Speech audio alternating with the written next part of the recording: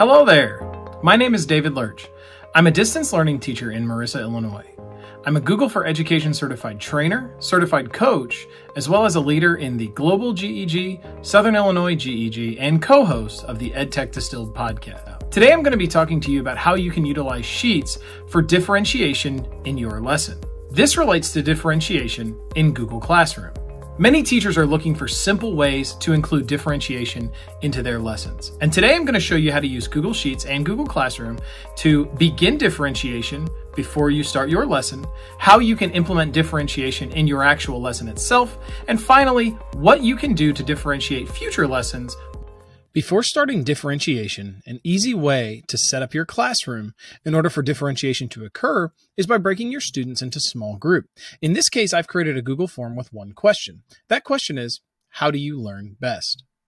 Since I have my Google form titled how do you learn best? I want to share it with my students in Google Classroom. So I've navigated to the classwork tab and created an assignment. In this case, I've given them a simple title of survey, and I'm going to add it as a link like so paste my link in, add it, and I will post this to my students so that they can quickly take this survey and I can start the differentiation process. Now I've created my Google form. I've added it to my Google Classroom and posted it as an assignment for my students to complete. And I've created a response sheet from my Google form that's generated in Google Sheets. And as you can see, the students so far that have filled this out have chosen these as the way that they learn best. Now I want to sort these in Google Sheets and Google Sheets has a built-in tool to do that. So if you click the top of the column that you want to sort, in this case, it is C2. So I'm going to click the word listening because that's at the top of my column. And what I'm going to do is I'm going to press the shift key on my keyboard and click the last item on my column like so. And I'm going to go to data, sort sheet by column C, A through Z. So it's going to alphabetize that column and it will alphabetize my responses and it will also change up those students as well. So I now have my pre-made groups. We've differentiated our class and we have them into small groups. And now we can differentiate our lesson. One of my favorite ways to do it is using a choice board and Google Sheets has you covered with this. So what I've done here is I've just created a couple of activities for my student. I've asked them to read this article. I've asked them to create an acrostic poem I've asked them to draw a picture of vocabulary words they're studying, and then I've asked them to create a sequence chain using events from the story.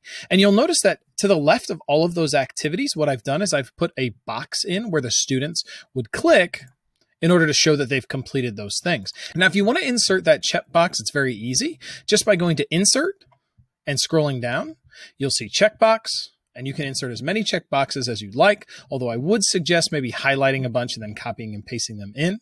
And if you want to include links to videos or to articles into your choice board, it's a very easy process as well.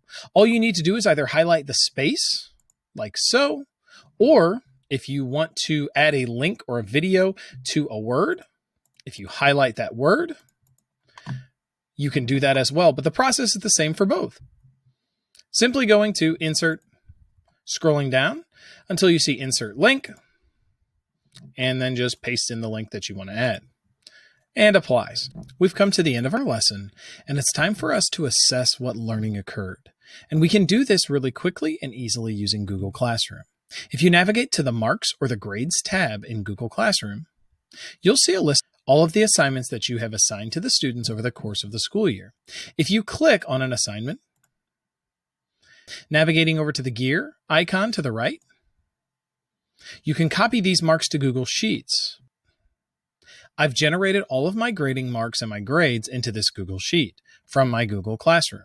And I want to take the data I've received by grading the student's assessment or assignments, and I want to sort that to see who's learned what, how well they learned it, and hopefully it can drive my instruction going forward.